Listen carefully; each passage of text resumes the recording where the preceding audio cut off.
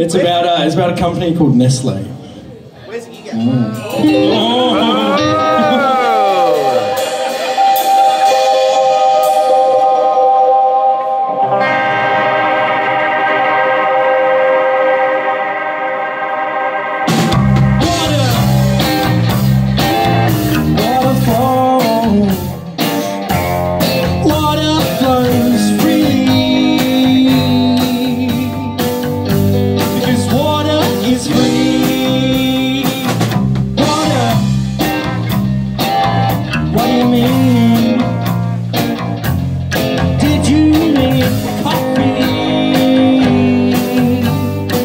Thank you.